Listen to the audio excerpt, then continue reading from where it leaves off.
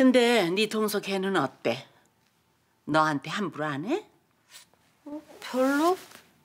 어제는 임신을 진심으로 축하한다더라고. 네가 착해서 그래. 그런 말 함부로 믿지 말어. 응? 걔가 갑자기 마음이 변해서 2층 계단에서 너를 밀어버리면 어떡해? 아유, 설마 그럴 사람은 아니야. 아니기는 뭐가 아니야. 네 손가락까지 부러뜨린 인간인데. 알았어, 내가 조심할게. 할머니 나 화장실 좀. 응 그래 그래.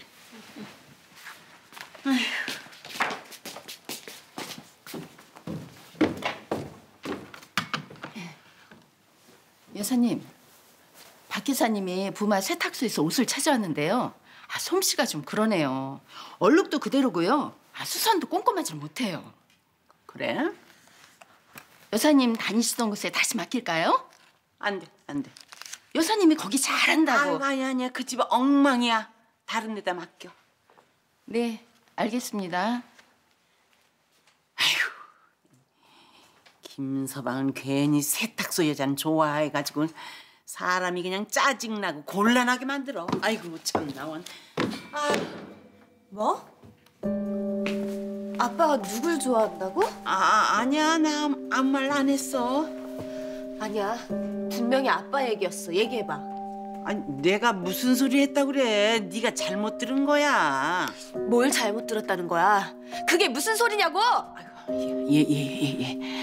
저 애한테 안 좋아 그렇게 흥분하면 그러니까 말하라고.